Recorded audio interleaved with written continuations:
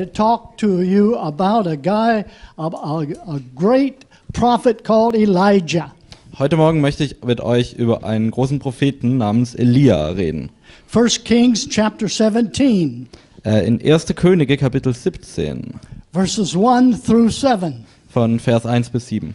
says this Da steht, Now Elijah the Tishbite, who was of the settlers of Kilgad, said to Ahab, As the Lord, the God of Israel, lives, before whom I stand, surely there shall be neither dew nor rain these years, except at my word. The word of the Lord came to him, saying, Go away from here and turn eastward and hide yourself by the brook Cherith, which is east of the Jordan. It shall be that you will drink of the brook, and I have commanded the ravens to provide for you there. So he went and did according to the word of the Lord. For he went and lived by the brook Cherith, which is east of the Jordan. The ravens brought him bread and meat in the morning, and bread and meat in the evening, and he would drink from the brook. It happened while after a while that the brook dried up because there was no rain in the land. Und Elia, der Tisbiter von den Einwohnern Gileads, sprach zu Ahab, So wahr der Herr lebt, der Gott Israels, vor dessen Angesicht ich stehe, es soll in diesen Jahren weder Tau noch Regen fallen, es sei denn, dass ich es sage. Und das Wort des Herrn erging, ihn, erging an ihn folgendermaßen. Geh fort von hier und wende dich nach Osten und verbirg dich am Bach Krit, der östlich vom Jordan fließt. Und du sollst aus dem Bach trinken, und ich habe den Raben geboten, dass sie dich dort versorgen. Da ging er hin und handelte nach dem Wort des Herrn. Er ging und blieb am Bach Krit, der östlich vom Jordan fließt. Und die, die Raben brachten ihm Brot und Fleisch am Morgen und Brot und Fleisch am Abend. Und er trank aus dem Bach. Es geschah aber nach einiger Zeit, dass der Bach vertrocknete, denn es war kein Regen im Land. I'm excited this morning Ich freue mich heute Morgen, because I get to preach about one of my favorite characters in the Bible, weil ich über eine meiner Lieblingspersonen in der Bibel predigen darf. Elijah. Elia. This is part one of a series of two parts of this sermon. Das ist jetzt der erste Teil von einer kurzen Predigtreihe, die zwei Teile umfasst. So next week I'll preach the second part of Elijah. Also nächste Woche werde ich eine, den zweiten Teil, eine zweite Predigt über Elia halten. Now, if we set the background of what happening during this time of Elijah's life, Also wenn wir uns den Hintergrund anschauen davon, was äh, hier zur Zeit von, also in- in der Elia gelebt hat, passiert ist. his country was in turmoil. Sein äh, Land war in Aufregung. They had a king that was the most evil king that ever walked on the face of the earth. Sie hatten einen König, der der schlimmste und böseste König war, der jemals ähm, ja, auf der Erde gelebt hatte. Ahab was his name. Er hieß Ahab. And today we, we name our dogs Ahab. Und heutzutage nennen wir unsere Hunde Ahab. We don't name our children Ahab Wir nennen unsere Kinder nicht Ahab. Because when we think of Ahab, he's the most evil person that we can think about. Wenn wir an Ahab denken, das ist die schlimmste Person, an die wir denken können. And he married to a guy, the lady named Jezebel, Und der hat eine Dame namens Isabel geheiratet. the most evil lady that we've ever think, Die- die could think about. Die schlimmste Frau, an die wir denken können, so mehr oder weniger. Now, how would you describe this prophet? Also wie würden wir diesen Propheten beschreiben? He's one of the most famous in the history of Israel. Er ist einer der berühmtesten Propheten in der Geschichte von Israel. Everybody in Israel knew of this prophet. Jeder in Israel kannte diesen Propheten. How would you describe him? Äh, wie würde man ihn beschreiben? I think if it's this way.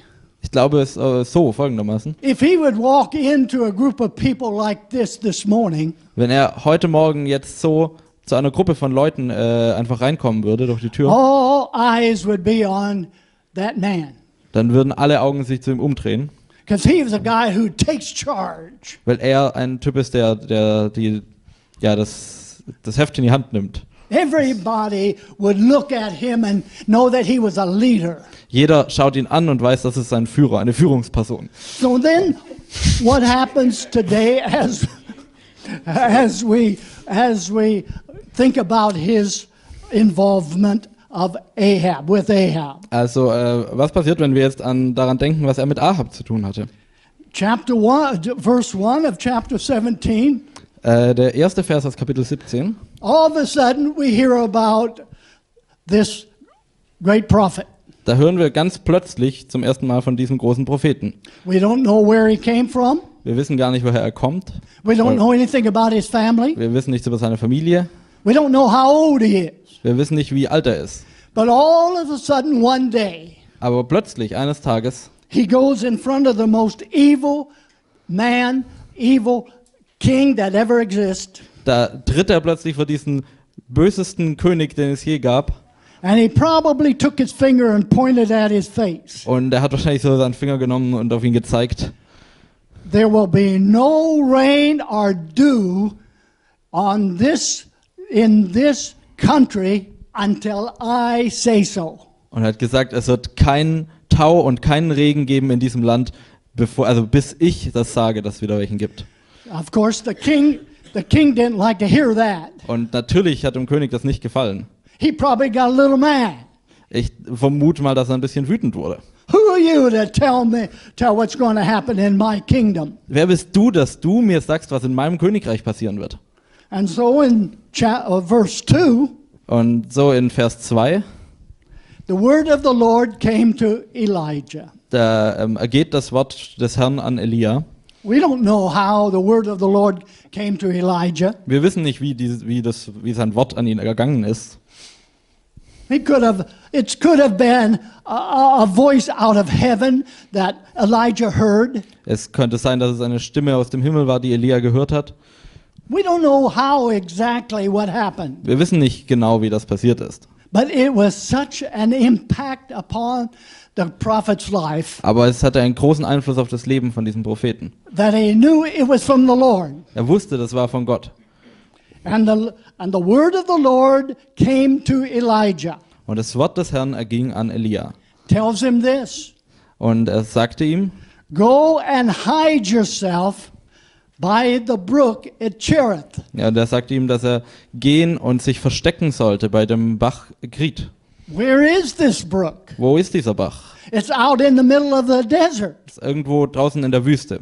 Now, Elijah has to make a decision. Also Elia muss jetzt eine Entscheidung treffen. Did the Lord really tell him to go? Hat Gott ihm wirklich gesagt, dass er da hingehen soll?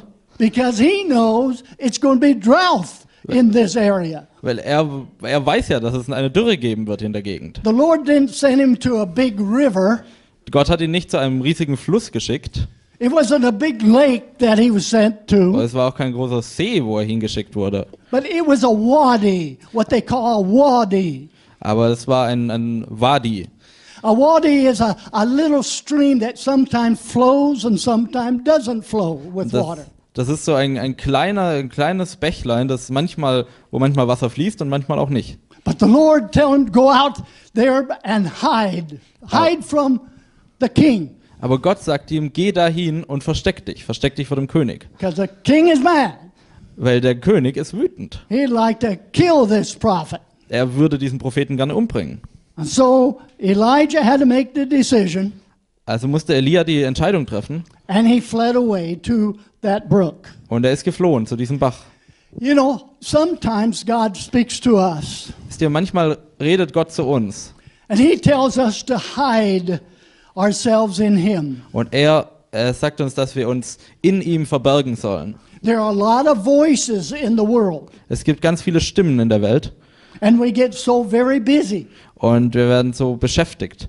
But sometimes the Lord speaks to us. Aber manchmal spricht Gott zu uns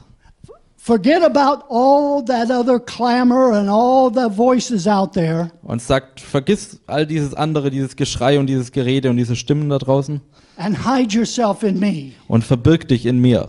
Now, I'd like to suggest two ways in which you should hide yourself in the Lord. Und ich möchte gerne zwei äh, Arten vorschlagen, wie wir uns in Gott verbergen können. The first way Die erste, schedule a daily time that you pray and read the Bible. Plan dir täglich Zeit ein, wo du betest und die Bibel liest. Now, different people have different times that they are able to do that. Äh, für verschiedene Leute ist das, sind es verschiedene Tageszeiten, an denen das funktioniert.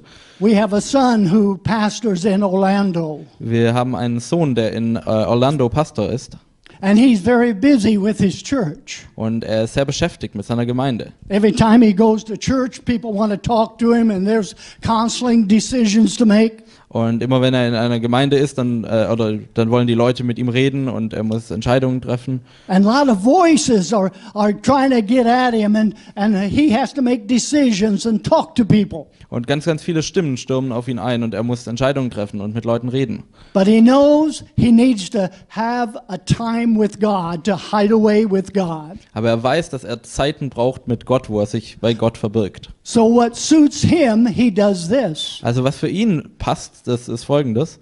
Early in the morning, about 7.30 to 8.30, Äh, früh am Morgen, so zwischen halb acht und halb neun, you will find him at McDonald's. äh, findet man ihn bei McDonald's. He goes to McDonald's. Und er geht da zu McDonald's He sits there and reads the Bible. und er sitzt da hin und liest die He Bibel.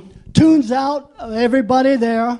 Er blendet all die anderen Sachen aus um ihn herum. He has a little breakfast. Er hat ein bisschen Frühstück.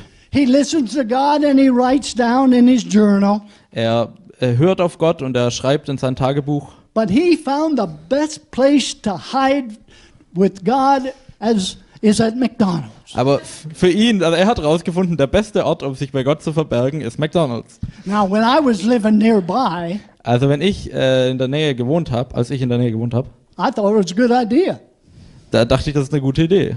So I would go to the McDonald's as well. Also bin ich auch zu McDonald's gegangen. But he told me, Aber er hat mir dann gesagt, Dad, you can come to my McDonald's, Papa, du kannst zu meinem McDonald's kommen, but don't talk to me. aber sprich nicht mit mir. I won't talk to you. Ich werde nicht mit dir sprechen. This is my time alone with God. Das ist meine Zeit allein mit Gott. So I would go and I would do the same thing. Also bin ich dann auch immer hingegangen und habe das gleiche auch gemacht. Secondly, Äh, der zweite Punkt, always make a habit of going to a church on Sunday morning macht es zu einer Gewohnheit, immer am Sonntagmorgen in eine Gemeinde zu or gehen. sometime during Sunday. Find a group of people that you can uh, relate to. Oder ja, finde eine Gruppe von Leuten, mit denen du dich verbinden kannst. And you get together and you hide together and you listen to the Word of God. Und dann könnt ihr, dann kommt ihr zusammen und verbergt euch gemeinsam bei Gott und hört das Wort Gottes. Now, when Elijah heard the Word of God and told him to go out in a desert place, Also als Elia dieses Wort von Gott gehört hatte, dass er gehen sollte und sich in dem, also zu dieser Wüste, it probably made no sense to him. dann es ergab wahrscheinlich keinen Sinn für ihn. He thought in his mind, perhaps, Er dachte wahrscheinlich, I should stay here and preach the gospel. ich sollte doch hier bleiben und das Evangelium verkünden. I should help the people to understand God better. Ich sollte den Leuten helfen, Gott besser zu verstehen. I should do evangelism. Ich sollte evangelisieren. But no, God said, Aber nein, Gott hat gesagt, go out and hide yourself and rest a while. geh und verbirg dich und, und ruh dich aus eine Weile. God knew what Elijah needed Gott wusste, was Elia brauchte. because we think of Elijah and we think of how he drew down fire on Mount Carmel. Weil wenn wir an Elia denken, dann denken wir an diese Stelle, wo er Feuer vom Himmel herabruft auf dem Berg Karmel. We read about Elijah taken to heaven by a whirlwind.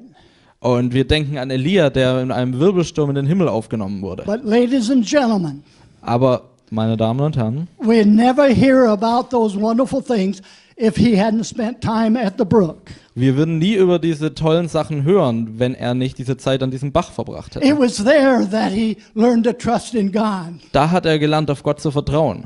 It was there that he had great faith in God. Da hatte er diesen großen Glauben an Gott. And God matured him Und Gott hat ihn reifen lassen, so that in the future he could be used mightily for God. sodass er in der Zukunft zu ganz großen Sachen für Gott gebraucht werden konnte. And so Elijah goes to the brook Also ist Elia zu diesem Bach gegangen and he drinks from the water there. He needs water. und er trinkt das Wasser, das da ist, also er braucht das Wasser.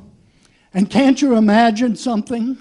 Und könnt ihr euch das vorstellen? The first day when he got up in the morning, Am allerersten Tag, als er am Morgen aufgestanden ist, he da, was thirsty. er hatte Durst, He went to the brook er ist zum Bach gegangen and he drank of the water. und er hat von dem Wasser getrunken. But really, also hungry. Aber er war auch hungrig. What's he to eat? Was sollte er jetzt essen? And he became nervous. Und er wurde ein bisschen nervös vielleicht. Would God really send birds to feed me? Wird Gott wirklich Vögel herschicken, um mich zu ähm, ernähren? Are you kidding me? Soll das well, ein Witz God sein? will send birds to feed me. Gott soll Vögel schicken, um mich zu ernähren? And so he was probably looking all directions. Er hat wahrscheinlich sich nach allen Richtungen umgeschaut. Where are the birds? Wo sind die Vögel? And he became more hungry and hungrier and hungrier. Und er wurde immer hungriger und hungriger. All of a sudden, Und plötzlich the birds came. kamen die Vögel. He ate of the bread and the meat from the birds. Er hat das, äh, das Brot und das Fleisch gegessen, das die Vögel ihm gebracht haben. Where did the bread and the meat come from? Wo ist dieses Brot und Fleisch überhaupt hergekommen? It was divinely made by God. Es wurde wahrscheinlich von Gott selber gemacht. So it has to be good. Also muss es wohl gut geschmeckt haben auch. God doesn't make any trash. Gott macht kein, äh, kein That's the billiges best Essen. bread that was ever made. Das beste Brot, das je gemacht wurde. And that was the best meat that was ever on planet Earth. Das beste Fleisch, das es je auf der Erde gegeben hat. Because no human hands made the bread or the meat. Der- Keine menschlichen Hände dieses Brot gemacht haben oder dieses We, Fleisch. would- we would corrupt it, Wir sind äh, ja verdorben. but God made it. Aber Gott hat das gemacht. And God sent it. Und Gott hat es geschickt. And Elijah ate it. Und Elia hat es Day gegessen. by day he would get up, Jeden Tag ist er he would aufgestanden. drink of the water, Er hat Wasser getrunken. and sure enough, here comes the birds. Und ja, hier kommen die Vögel wieder. And after a while, he Wow. got very comfortable. Und nach einer Weile war das sehr angenehm für ihn. He said, That's no problem now. Er sagte, das ist, ist ja gar kein Problem. I have great faith. Ich habe voll den großen Glauben jetzt. God supplied in the natural water. Gott hat auf natürliche Weise Wasser mir gegeben. Naturally, God provided the water. Gott hat dieses Wasser auf natürliche Weise für mich gegeben. Supernaturally, God supplied the bread and the meat. Und auf übernatürliche Weise hat er mir äh, Fleisch und Brot gegeben. But now, no problem for Elijah to believe God can supernaturally supply his needs. Aber jetzt ist es kein Problem für Elia daran zu glauben, dass Gott auf übernatürliche Weise sich um seine Bedürfnisse kümmern kann. So one morning he gets up. Also eines Morgens steht er auf, There's no water. Da ist kein Wasser mehr. Now what is he to do? Was, was soll er jetzt machen? What do you do when the brook dries up? Was macht man, wenn der Bach plötzlich ausgetrocknet ist? What's to happen to him? Was, was wird jetzt mit ihm passieren? I suppose if it was us, Ich nehme mal an, wenn, es, wenn wir da gewesen wären, we start to panic. wir wären wahrscheinlich in Panik verfallen. Did God forget me? Hat Gott mich vergessen? He used to help me, Er hat mir doch immer geholfen. but now where is God? Aber jetzt, wo ist Gott jetzt plötzlich? And this is probably what Elijah had overcome. Und das war vermutlich auch das, womit Elia zu kämpfen hatte. But at the right time, Aber zur richtigen Zeit God is never slow. äh, ist Gott ähm, ja, zur Stelle. He's never too fast. Er ist nie zu langsam oder zu schnell, Just right on time, sondern immer genau rechtzeitig. God speaks to Elijah again. Gott spricht wieder zu Elia. He said, Leave here at the brook, and I got another place for you to go. Und er sagte dann zu Elia, geh weg von diesem Bach, ich habe einen anderen Ort, wo du hingehen sollst. So he leaves the dry brook Also lässt, verlässt er diesen vertrockneten Bach and he goes to a new place. und er geht an einen anderen Ort. There's a few lessons that we need to learn here. Und das sind ein paar Lektionen, die wir lernen können hier. What you do when your brook dries up. Was machen wir, wenn unser Bach austrocknet? You're not to panic. Äh, wir sollten nicht in Panik verfallen. You're not to get sour. Wir sollten nicht Not to Ja, stay away. Not ja, bitter stay, werden. not to stay away from church. Wir sollen nicht deswegen dann nur von der Gemeinde äh, uns fernhalten. Not to get mad at God. Nicht wütend auf Gott werden. Not to feel sorry for yourself. nicht in Selbstmitleid verfallen, Don't complain. nicht sich beschweren, Don't rebel. nicht rebellieren, But accept it as God's will for your life at that time. sondern es akzeptieren als Gottes Willen für mein Leben zu der Zeit gerade. When the brook dries up in our lives, Wenn der Bach austrocknet in unserem Leben, it's not permanent, dann ist das nicht für immer. it's only for a season. Das ist nur für eine Zeit lang.